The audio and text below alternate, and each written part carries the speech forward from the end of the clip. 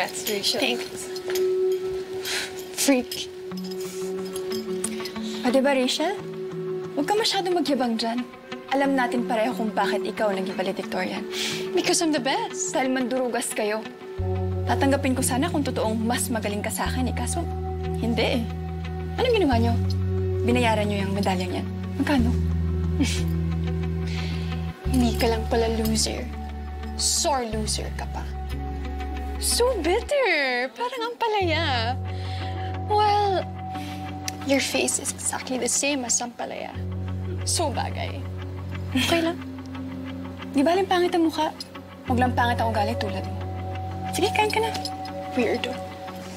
Don't mind her. Oh, look, fries! Your favorite.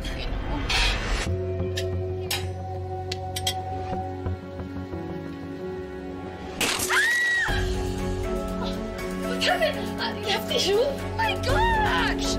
There's yung leaves now! This one now! This one, no! Rachel! Oh. Hey. Oh my God! Your dress! Are you okay? She did this! What? It's all your fault, Magna. I know! Ako, bakit ako? Yes! Ang layo-layo ko sa'yo. Yeah. Look at me! Kapal naman ang mukha mo para gawin to sa anak ko. Titimanda kita. Ipapakulong kita. Ipapakulong niyo po ako? May pruweba po ba kayo na ako pong may gawa niyan sa anak ninyo? Kung walang galang na, komisyoner, hindi naman ho maganda yata yung ginagawa nyo. Pinagbabantaan yung ang apo ko ng kung ano-ano. Hello?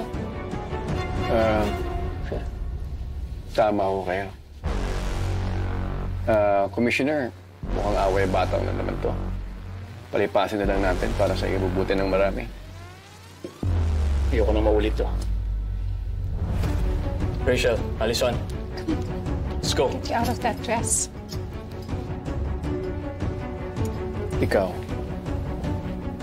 hindi lahat ng tao kaya magpatawad kalimutan ng atraso. Dapat kinikilala mo kung sino binabangga mo. Kung sino nasa taas at kung sino nasa baba. Alam mo dapat ang lugar mo sa mundo. したバイバイ